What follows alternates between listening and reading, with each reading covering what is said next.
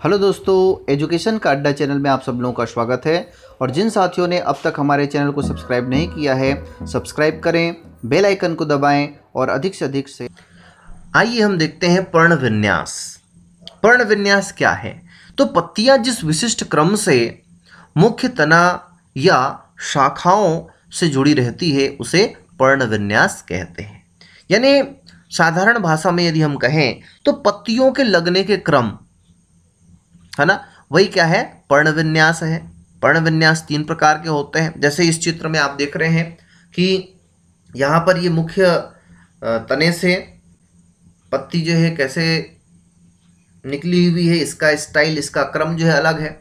इसमें हम देखें तो इसका क्रम अलग है और इसमें देखें तो अलग है। तो इसी को क्या कहा गया है कि पत्तियाँ जिस विशिष्ट क्रम से ये मुख्य अक्ष या शाखाओं से जुड़ी रहती है, उसे पर्ण विन्यास कहते हैं। तीन प्रकार का यह होता है, अकेली पत्ती या एकांतर क्रम कहते हैं, एक होता है, दूसरा है जोड़ीदार या विपरीत क्रम या अभिमुख कहते हैं इसी को, और तीसरा है गुच्छेदार या चक्रीय क्रम। तो आइए देखते हैं पहला, एकांतर पर्ण विन्यास।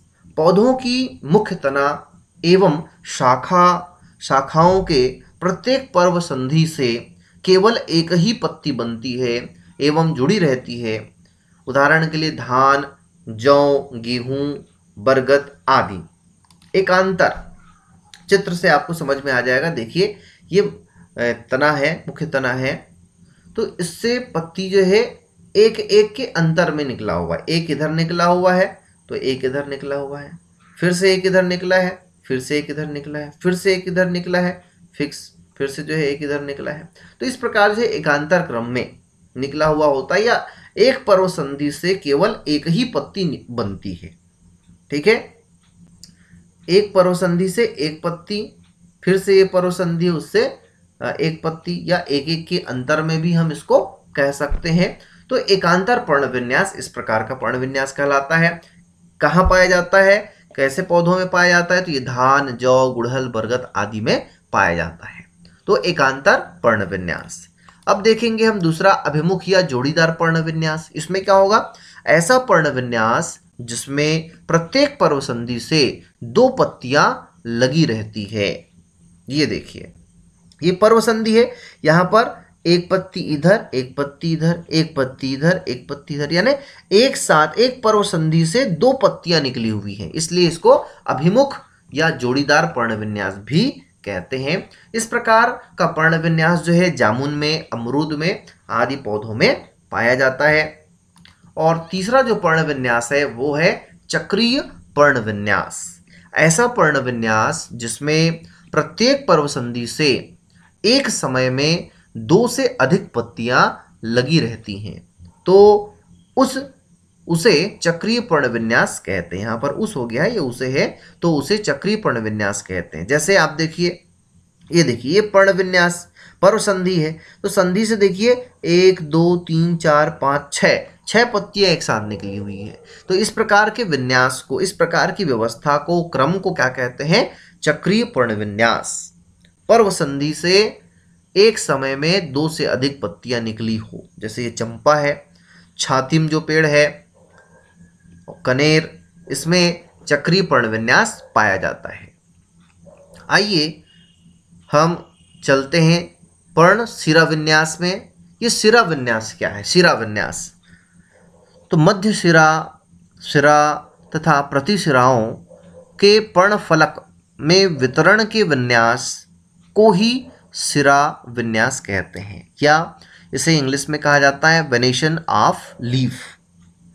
मध्य शिरा शिरा तथा प्रतिशिराओं के पर्णफलक में वितरण के विन्यास को ही शिरा विन्यास कहते हैं। आइए हम इसको चित्र के माध्यम से समझेंगे। यह जो है मुख्यतः दो प्रकार का होता है। एक होता है जालिकावत शिरा विन्यास दूसरा होता है समानांतर शिरा विन्यास तो देखते हैं, जालिकावत शिरा विन्यास इस प्रकार के शिरा विन्यास में मध्य शिरा से निकली शाखाएँ एवं प्रतिशाखाएँ अनियमित रूप से वितरित होती हैं तथा आपस में मिलकर जाल का निर्माण करती हैं। और द्विबीजपत्री पौधों की पत्तियों में यह जालिकावत जो सिरा विन्यास होता है, वो पाया जाता है। आइए समझते हैं। ये जो हमको पत्ती दिखाई दे रही है, इस, इसका जो पूरा भाग है, इसी को क्या कहते हैं? पर्ण फलक और पर्ण फलक में आप देखें तो ये एक बीच में मोटी शिरा है, यही है मध्य शिरा। तो इसी को कहा गया है कि इस प्रकार के शिरा विन्यास में मध्य शिरा से निकली शाखाएँ। तो देखिए आप मध्य शिरा से ये शाखा निकली है, ये शाखा निकली है, इधर निकली है, इधर निकली इस प्रकार जो है, बहुत सारी शाखाएँ निकली हुई हैं। अब इन शाखाओं से भी और आप देख सकते हैं कि इससे प्रति शाखाएँ, या इसी को क्या कहते हैं कि ये हो गया मुख्य शिरा सिरा और प्रतिशिराएँ तो ये जो सिराएँ हैं, वो अनियमित रूप से, आप इस इस वाले में देखें तो अनियमित रूप से इसकी कोई निश्चित संरचना नहीं है। अनियमित रूप से इस पत्र फलक में पर्ण फलक में जो है फैले हुए होते हैं और एक जाल का निर्माण कर देते हैं, जाल सदृश रचना बनाते हैं, इसलिए इसको क्या कहते हैं? जालिकावत शिरा विन्यास।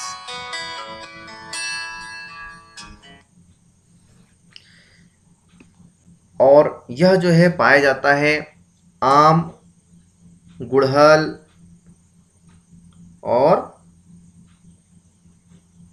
चना, अमरूद, मटर। इत्यादि पौधों में जो कि कैसे होते हैं, द्विबीजपत्री होते हैं, उन्हीं में यह जो है पाया जाता है। तो ये हुआ जालिकावत शिराविन्यास। दूसरा है समानांतर शिरा विन्यास इस प्रकार के शिरा विन्यास में मध्य शिरा से निकली शाखाएँ एवं प्रतिशाखाएँ अनियमित रूप से वितरित नहीं होती बल्कि समानांतर रूप से पर्णफलक पर वितरित रहती है। इस प्रकार का शिरा विन्यास एक बीजपत्री पौधों की पत्तियों में पाया जाता है। आइए इसको चित्र के माध्यम से हम समझें।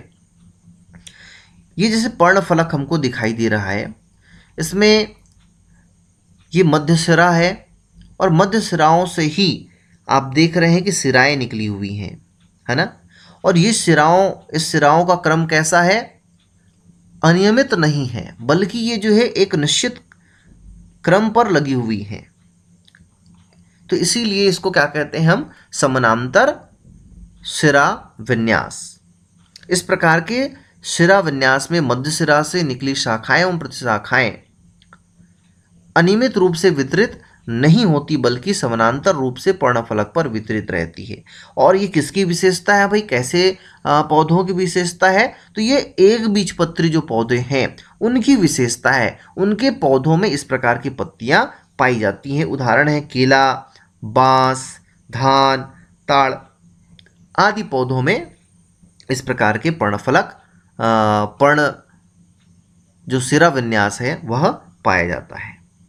तो दोस्तों, यदि ये वीडियो आप लोगों को पसंद आया हो तो ज़रूर लाइक करें शेयर करें और जिन लोगों ने अब तक हमारे चैनल एजुकेशन का अड्डा को सब्सक्राइब नहीं किया है सब्सक्राइब करें। धन्यवाद।